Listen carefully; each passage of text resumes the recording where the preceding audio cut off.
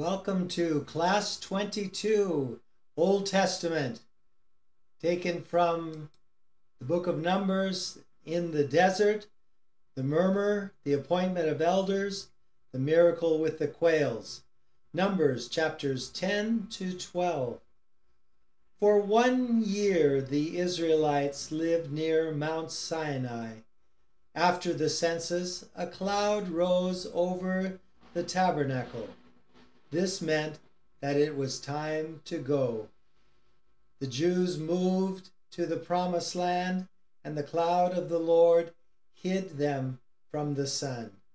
The Levites led the way with the ark of the covenant and dismantled the tabernacle.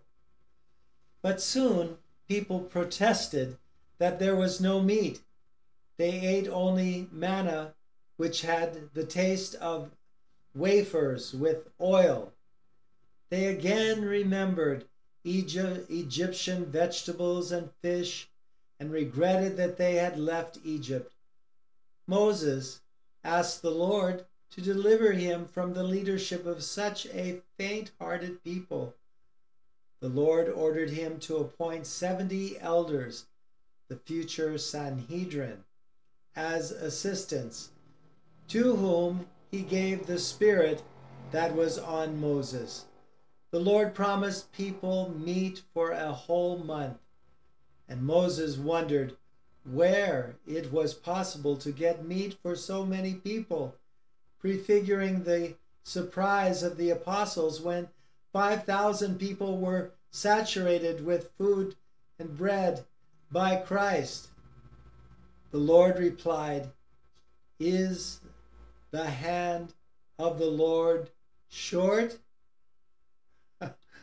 the wind caught up with many exhausted quails, and people greedily attacked the meat, but many fell ill, and the most lustful even died. The Jews called that place the coffins of lust. At the next camp, surrounded by the tabernacle, his brother and sister protested against Moses because he married a foreigner Moses married a Midianite, Zipporah, when he fled Egypt at the age of 40.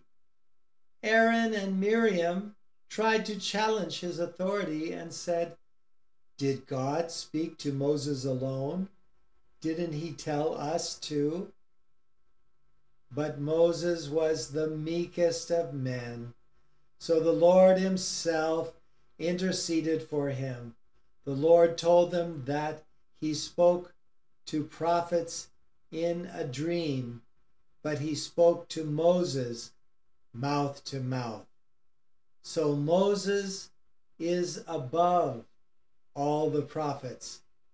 And the Lord sent leprosy to Miriam, and only through the prayer of Moses was she healed. Later, the Jews tested God more Already at the entrance to the promised land, they refused to go in to it, not believing in his help. And this was the last straw. The Lord said that none of the adults would enter this land except for Joshua and Caleb. The Jews ended up living in the desert for 40 years. Thank you for joining us for Class 22 Old Testament.